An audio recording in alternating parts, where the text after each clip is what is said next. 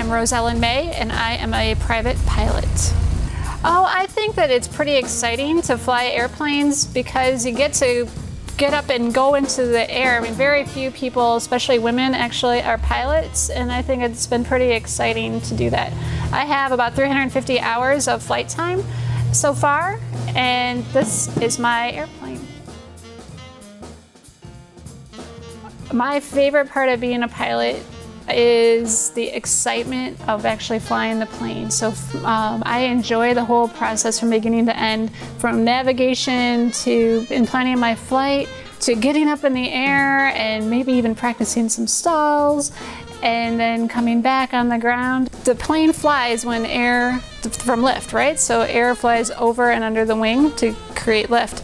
And so when you stall, the plane doesn't have that air moving over the wing anymore. And so um, you're essentially floating in the air for a few seconds. What I think is exciting about Amelia Earhart is that she knew that there were some big barriers that she had to overcome, but she did it. She was one of the first female pilots to, to fly. She's a big hero of mine.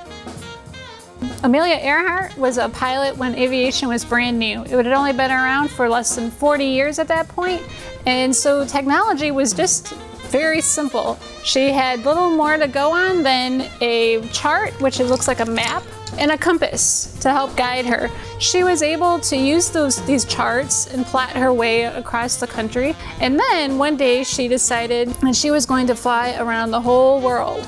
And so that, that led to um, some pretty interesting flights for her. Fast forward another 50 years, we have lots of new technology available. Um, one of the things that was a hindrance for her was that they weren't able to fly in bad weather because they had to always be able to see the ground. Now some of the things that we have today includes weather on our GPS and this looks a lot like the GPS that your parents might use when you're traveling in your car. We also have weather and travel GPS type services built in for our airplanes and our cell phones. And then we also do similar flight planning using our computers. So those these resources that we have available make our flights a lot more safe and a lot more fun because we don't get lost quite as often as they would have back when Amelia was flying. So when children want to experience flight for themselves, the Experimental Aircraft Association has a program called the Young Eagles and they can go to their local airport, including right here in DeKalb, to get a free flight. And so we can find out more information about the Young Eagles program and the free introductory flight at youngeagles.org. When you're interested in aviation, you should learn about science, like weather. Weather plays a big component when you're flying airplanes.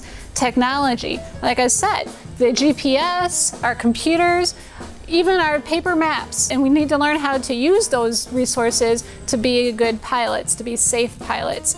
We also need to know about engineering. So when they create aerodynamic aircraft, and mathematics. And mathematics actually plays a big component in how we how we plan for our flights. And so yes, science, technology, engineering, and math all play a big part, even to make a simple trip across the field.